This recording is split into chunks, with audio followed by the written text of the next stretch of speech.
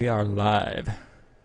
Hello and welcome to Tribescast.com. My name is Delirium. We are covering Tribes Ascend tonight, a match between Team Void Engineers and Team Llama Grab. With me is a new face, Sadokist, who's helping us commentate tonight. Say hello, Sadokist.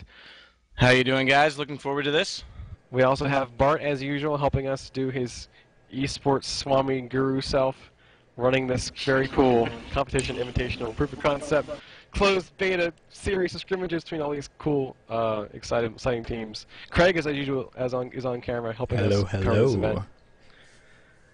And we are actually starting right away. There's not a whole time to introduce this match. We're going to start on Crossfire. It's going to be the first map. Uh, Sadokist, do you have a favorite going into this match between these two teams?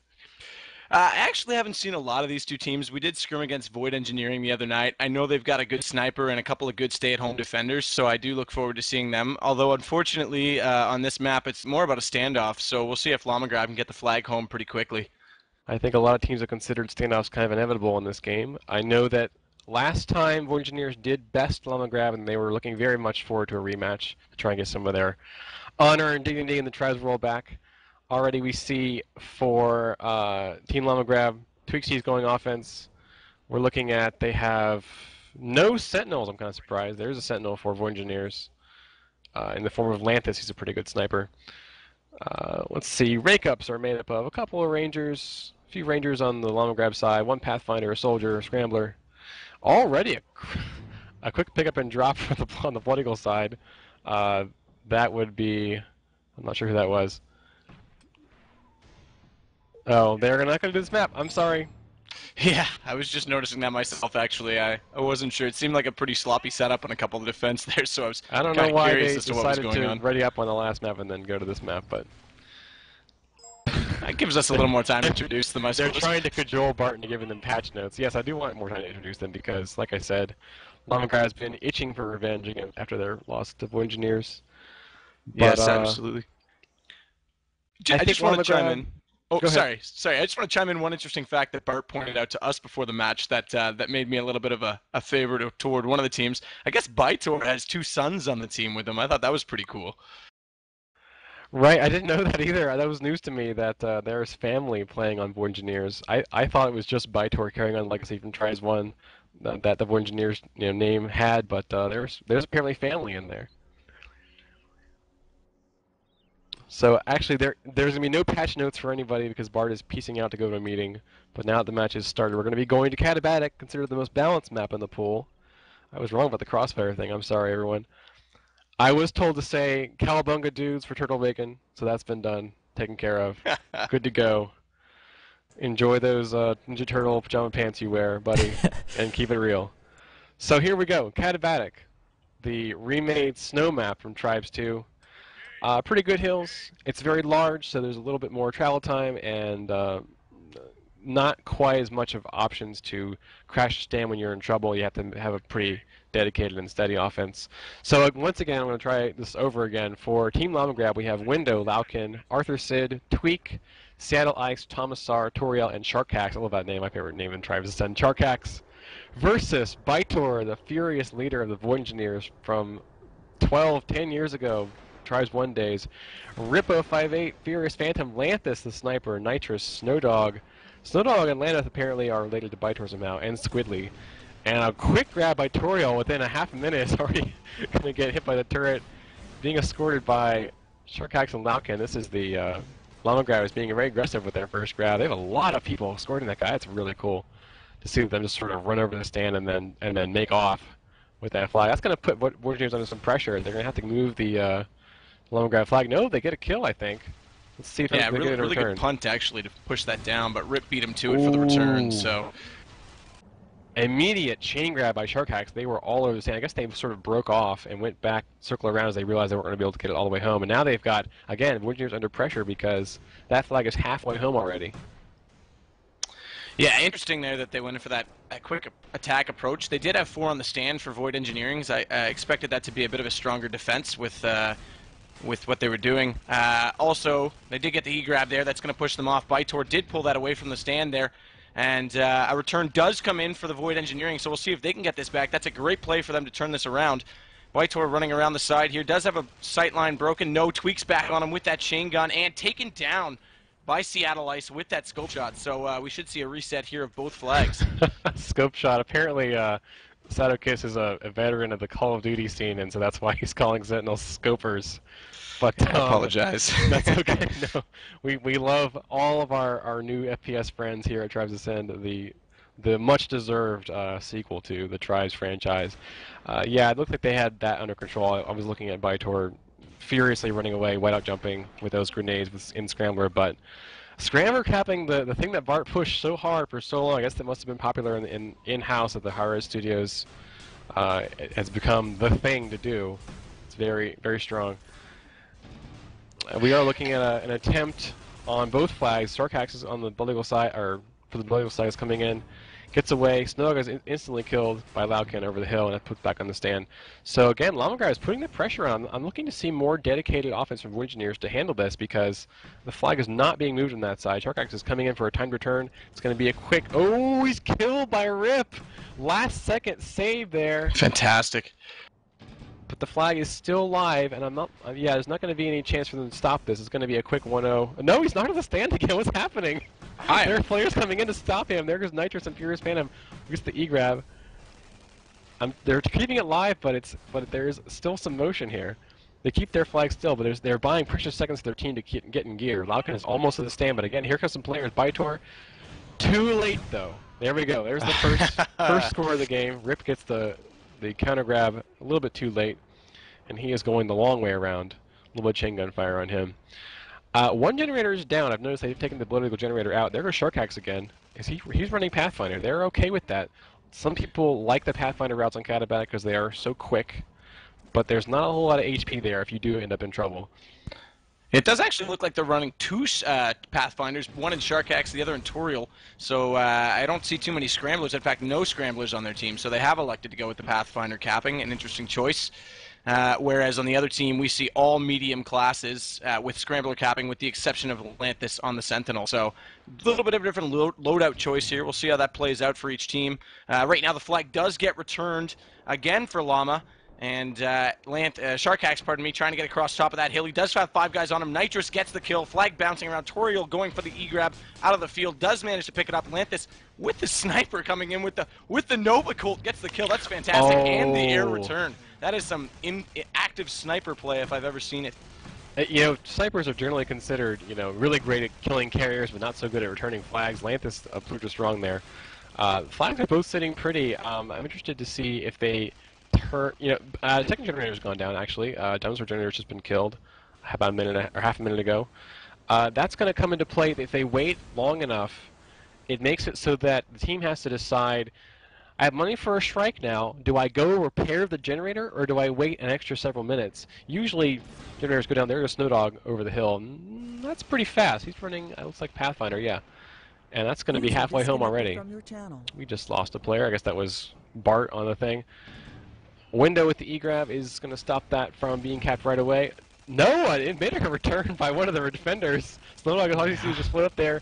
He's a Tweak is a little bit too late to kill him, and now it is tied. Engineers is not going to take the lying down. Uh, Llama did get the early cap, but uh, they're not going to let this revenge match go uncontested. Yeah, and like and like a few teams I've seen playing a lot of guys at home on the stand on Kata just to break that fast cap, and then uh, and then they're easily turtled for for a standoff. We haven't seen a standoff yet. I'm uh, I'm interested to see how that'll work with two light players on uh, on Llama, but we will see how that works and out when that comes. This is what I was talking about. There is a strikeout for Blood Eagle. Uh, someone is calling for me to look at the attacks on the Diamond Sword flag by Window and Tweak. I don't see any cappers coming in right away. Nope, Sharkax, he's faked me out. I'm not sure where he came from. But maybe that was because he was scrambled and I couldn't see him. Nope, he's still running Pathfinder. I'm kind of surprised to see that. But uh, yeah, the strike is up for Blood Eagle, and there is no strike up for Diamond Sword because their generator was killed so late that you have to repair it in order to get one. Toriel saved Shark Sharkax, but there was a counter grab by Rip going the opposite direction. That strike that was on him, that means it's going to be hard for him to get home by himself. Yeah, absolutely. I got to say, I got to I give good credit to Llama on their their important and Llama. No good credit on their important uh, uh, escorting That's three or four times now. I've seen the flag get knocked out of the initial grabber's hands and instantly picked up in the field by a teammate. They are going to get a return here, and uh, coming in with the flag is Toriel in that Pathfinder loadout. Does get the cap. That's going to make it 2-1 here at the 18-minute mark. See if Looks uh, like someone tried to strike but was killed before he could get that uh, strike to come down and stand to stop the play. Uh, pretty good by. I mean, Long Grab seems to have brushed up their game, practiced very hard for this. They definitely wanted to try and try and win back some dignity from Void Engineers. Uh, yeah, but uh, someone has repaired the generator, I think, so they have the Shrike now in the hands of Rip to counter the Shrike being piloted by Laukin. And uh, I'm looking to see another. Everyone's now reset now. The flags are sitting still. And it is 2-1 for Llama Grab. Llama Grab, of course, being the term for a really bad flag grab. They've been doing really good ones, though. It's all been Sharkax in that Pathfinder. Here comes Snowdog again. And on the other side, Sharkax is going to make a grab attempt. He gets away. So I was hoping to see a, you know, hopefully the first standoff of the game a minute ago, but unfortunately, Speaking uh, speaking of standoffs, we got a strike battle going on on the uh, the backside of the Demogod flag here. So always aiming to watch two strikes go head to head like this. Bytor's keeping the flag alive that was dropped by, I guess, by Snowdog or somebody, but he's quickly killed. There's a strike, of course, covering it. Look at this Doug fight. They're hoping, looking for the time to turn. There goes Sharkax through. That's a quick 3-1. And there again, Rip has the counter grab, but he's a little bit too late to stop the play. So uh, he did come out of a strike on that too, yeah. so a lot of speed. It's going to be Shrike versus Flag Caver here. Not a pretty sight usually.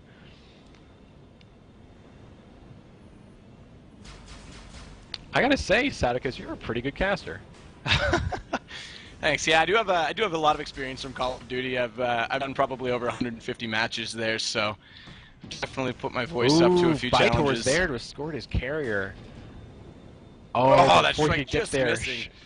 Before he get home, though. Oh, and there's a kill by Arthur Sid. Sharkax is right there with the flag pressures, keeping that Voyager's flag moving. I'm not sure what's happening with the Voyager's defense. They haven't been able to keep it, from getting away with that flag. Yeah, despite some some heavy stacking on the flag, they really haven't. I think what they're going to have to do, and if we were in this position, I think what we would try and do is Oh, is, uh, oh Snowdog came in, got the flag, tried to punt it as he ran to the tower. Unfortunately, that's not going to go anywhere. It's just sitting on the hill. Oh, but the Diamond Sword flag has been dropped. So you were saying they were stacking the flag on the Sword side? Well, I'm just I'm just thinking that right now I think they should probably try and focus on getting the flag off the stand. And you see them there jumping in. I'm not sure who that was. Their Bytor coming in with a quick E grab, getting it off the stand, and maybe trying to go into standoff mode. We haven't seen one of those yet. And uh, where they've got so many guys at home, it could be advantageous to them uh, to do that. But I do think that having stacking D was kind of the old idea for Tribes Ascend from a few weeks ago when people considered that was kind of the only way you're going to keep your flag home. But I think that people have sort of begun to realize that defense is uh, a little bit disadvantaged. That E-grab you're talking about by Bytor was attempted to be an E-grab, but I think that actually Rip made an amazing play a minute ago getting his flag home, so that grab was not necessarily needed. And that, that flag being babysat in the field returned by Arthur Sid, so it's going to be back to reset mode for both teams. The strike goes down, the Sword flag, but there's no one there to grab it. Here comes Sharkax looking for another grab. Let's see if he gets past Nitrous, and he, no, he misses the flag. Tweak was not able to clear for him, I don't think. Yeah, a lot of speed again. Still using those Pathfinders. Haven't seen either of them switch into Scrambler, which I thought maybe one would, you know, try a different approach. But they do have the lead right now, so why change things when they work? I, I think there there is I mean there is Snowdog running that Pathfinder, which is what he's got right now, and looking at that Laukin to try and kill him. They're they were trying to hold their their flag home, but Sharkax is already over that big hill. Not sure how he got past all the defenders who are hanging around here. There's a lot of offense though from Lamograd trying to keep that uh, uh, disrupted. Snowdog's looking like he's going to be in trouble. Window and Toriel all trying to get him, and that strike is also being very brave over on the offensive side. It's really only Bytor here threatening Sharkax in the meantime. Yeah, one flag down on the field. Looks like it's just passed off here. We might see a standoff if this continues. The first one of the game. And it Ooh, looks like Laukin Ford abandons his strike. Trying to go for a return. Is he? We got on the meanwhile for the Lamb on the defensive side. We got Nitrous and Furious Phantom coming in hard. That yeah, it, it is actually Llama Grab. I'm sorry. I'm I'm also I'm also a Canadian caster, so anyone Oh, who's no. previously said that that would also be perhaps it's just Canadian to say uh, llama as opposed to llama. no, no. I mean, I think I think calling them Llama Grab is pretty dignified for the, for them. We actually are in standoff mode, thankfully. But I, you know, for a minute there, I was a little concerned for uh, Squidly and Snowdog. There was some danger there, but um, like they've stabilized everything, and it's gonna. it's going to be down to see how these teams handle a standoff. It's a kind of a neutral situation for a lot of teams. They're used to doing a kind of an old style tribes game where you would play really fast flag flag plays and you get the flag home, you know, almost, almost instantly. Sorry, I don't was- mean to cut off there. Just uh, just one quick thing, no. Uh, on cue, given that the generator is up for Llama, they did take advantage. Bytor jumped in a second strike, so that's going to be a uh, big big advantage for them on this standoff. However, they do drop the enemy flag. They do manage to get back up now. Ooh, Shark Hat's Laukin grabbing it. ran Three Lamnus. guys. I was going to say earlier that one of the strikes that Laukin was piloting was stolen by Lamnus, but I think that that's now, or Lanthus, I should say. But now that's turned around. He's in another strike, killing killing flag carriers by the by the pound over here on Diamond Sword side. How are they holding We up? did the get a side? return though. Oh, I guess they got away with it. Oh, last second save by Toriel. Was he running a real route? Is he in Pathfinder? It looks like he might be. Yeah, there we go. He's off to the races all by himself. No chasers in sight. I don't think Twin is going to get this return, though. Yeah, it's going to be stabilized again. Absolutely, yeah. And uh, Llama's already got uh, four or five guys home coming out to escort now. Sharkax and Tom, uh, as well as Arthur Sid. So they're going to be pretty stabilized coming into their flag stand. What's it look like on the other side? Take that, Tweak. From now on, you're Lamagraph forever. Uh, well, they're holding in a Doombringer. I'm kind of surprised to see that. Squidly has changed to Doombringer. I, I do love to see uh, people be be brave with classes. I, actually, my team was saying that Doombringers are pretty good on standoffs. but That chain gun is just brutal. Yeah, the other thing on a standoff is uh, that you know you can take down some, get some hard shots onto a strike, which is uh, pretty important these type of these type of games and standoffs where strikes are so dominant right now in the game. Well, what I heard was they were saying send a Doombringer offense and make everybody try and shoot at him because he's got so many HP. And if you don't focus fire, he's going to mow your guys down with his chain gun. Yeah, I've heard both approaches, um, and I've also seen a lot of people stacking the Raider on, uh, or sorry, uh, well, I guess Raider would work as well, but mostly Ranger and just chain gunning anyone in the air. And I've seen that work really well. I've seen Tau take that approach, and uh, it worked worked extremely well for them in standoffs. I'm trying to see if they were sending somebody goofy in here, if that was an infiltrator or something. There are different ways to handle standoffs. You can do an infiltrator with Smackdown. You can do uh, send an offensive strike, try to kill the carrier like they did a minute ago with Laukin. You can do things like, I don't know, have a couple guys stay defense and just send a ton of offense and try and get it back. Absolutely. I mean, right now we're seeing. Go ahead. Oh, sorry, no, Llama just coming in with a timed attack here as Window and Tweak come off the hill. Tweak's got very little health left, so he's probably going to go down quite quickly here. But the strike also coming in over the top, trying to get a ram on that flag, does Oh. miss, and gets hit from behind on that tank.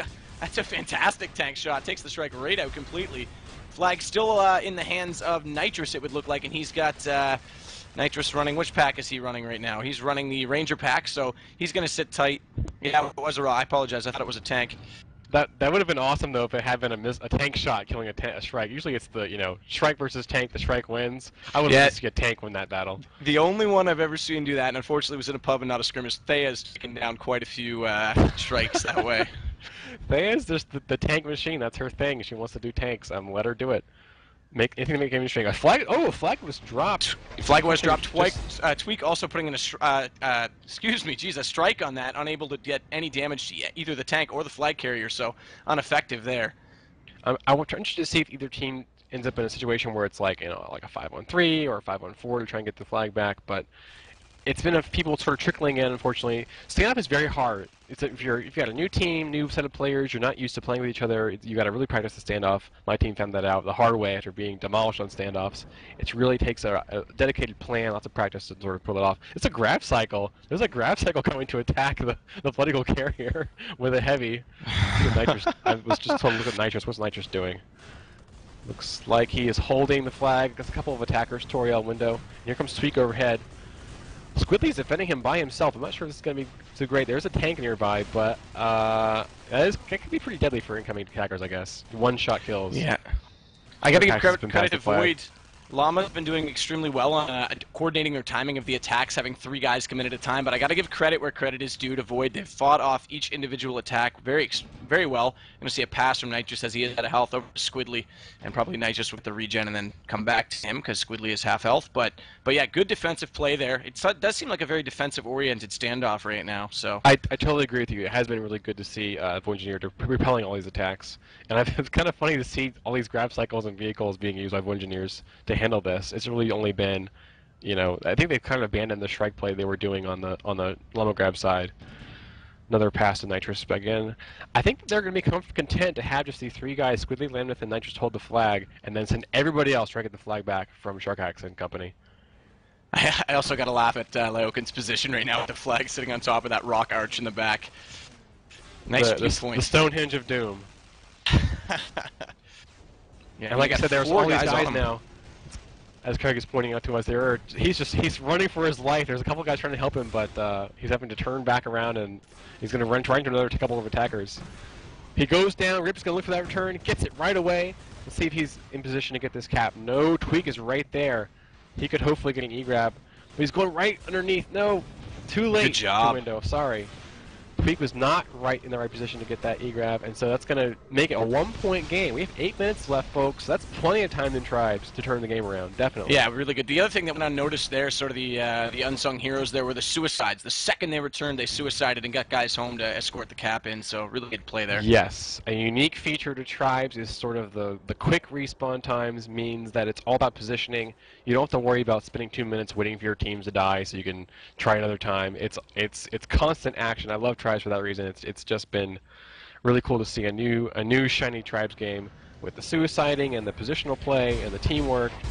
Uh, and again, the, the timing is it's all about timing, like coordinating an attack with your flag carriers, uh, and just how quickly you can turn the score around. That's what makes Tribes watchable to me.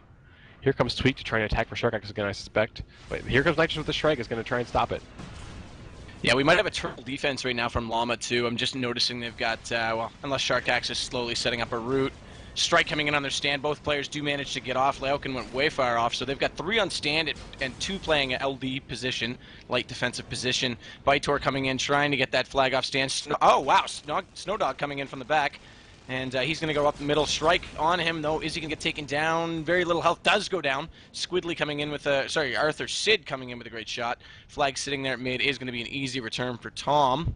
Yeah, So that, that may have been a fake by Bytor that you saw, so Snow could get away. And Toriel, I think, got away with the flag, but it's being babysat after a quick snipe by Lanthus, I think. And uh, so yeah, I, I'm gonna s- I was asked to look at more the class changes that they do. There was again a Doombringer on, on the on the uh, standoff, but it's gone. Oh, the Toriel's flag is now still alive, escorted by Sharkax. But again, there's still one Pathfinder, uh, Furious Phantom. No, a couple of Pathfinders. Furious Phantom and Pacific are still Pathfinder for um, uh, Void Engineers, and he's actually moving that flag to the field right now. Landon has gone Technician. Maybe that's because he's doing Shrike up duty. I'm not sure. And then it's just mostly Soldier, Ranger, Pathfinder, one Sentinel, and one Raider for the Llama Grab team. Yeah, and just looking at the scores right now, Lanthus leads to be uh, seems to be leading the way overall. He is in that sentinel position or sniper, or as I like to say, scope uh, position for uh, for the Void Engineers. He's a he's a very dominant player. And speaking of which, Engineers got their flag back, and they've tied it up. That's amazing. Five minutes to go. It's a tie game. For a while, Could we see leading. overtime? We might. Not. I mean, it's not a lot of time to get a lot of action going. It just depends on what happens. I was going to say a minute ago that Laukin was being very brave with his strike, trying to get the flag back, but to no avail. Blue Engineers has prevailed and has shown Llama Grab's not going to be an easy revenge match for them. Two strikes, like you said. There's two strikes out for Llama Grab. Laukin and who is this? I've missed it. One second. and Sharkax are both. It could be a, a strike grab attempt by Sharkax. I mean, you can get so much speed off of that. Yeah, I wouldn't be surprised. One's a grab, one's an escort, and we're going to see right now. As it look like they're going to start to set up. I was told earlier in the week, I didn't think that there was actually a lot of. There, oh, Laukin actually was the person who grabbed. Must have faked them out. And I was told strikes that Europeans didn't too. strike, but I heard actually they, they do double strike whenever they can on the European servers. Furious Phantom's trying to get this flag alive that's being babysat in the field. I don't think it's going to happen though. It could be an easy Bite. timed return to make it 4-1 for Llama Grab. Bytor 4-3, sitting on the sorry. stand, though. Good Ooh, E-grab. you're right. But You he is going totally to right, go a chance there. Yeah, no, he was the only one on. So yeah, E-grab, but uh, a futile attempt. That's going to make four, three, four minutes remaining. We'll see if that does it. But obviously, like you said, action can come at any given time in this. Yeah, I mean, a, a one-point game is not a one game at all. You can't get complacent. You have to keep the pressure on. You have to keep playing like it's like your life depends on it. And you know, the life of the of winning does depend. Snowdog did come in. There was a whole sort of offensive rush of engineers to try and stop that cap, but it was a little bit too late. Unfortunately, the flag that they had moved um, didn't have enough support, and so it was an easy time return. But like you said, there was that Bytor was there to try and stop it, but he was just not enough.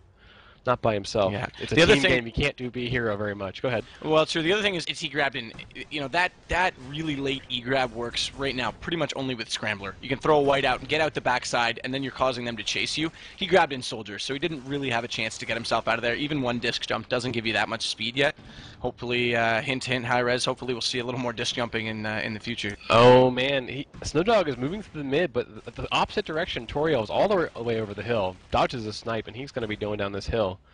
Uh, back to City of his defenders. Let's see if this goes in standoff mode again. That would obviously be really bad, really bad for. Uh, No, I think that's Engineers it. Because, oh, did they get it back? They did get it back. He was surrounded Oh on the way in, God. and that's going to be the cap out. So five to three here for uh, Llama over Void Engineering. Lam- Lammer grab. Oh my god. We're gonna quickly take the recording down or the stream down for a second to go back to, to map two, but we will be back. Be back expected, everybody.